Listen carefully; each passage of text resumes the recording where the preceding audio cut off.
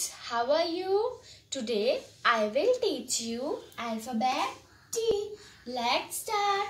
T for tree, T for table, T for tomato, T for tap, T for triangle, T for ten. One more time kids.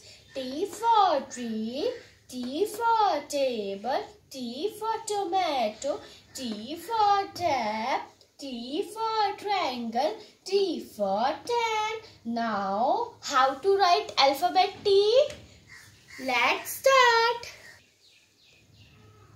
Standing line and then slipping line. One more time kids. Standing line Sleeping line standing line,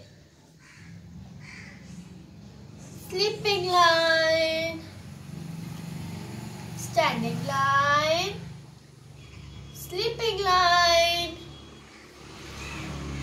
standing line, sleeping line,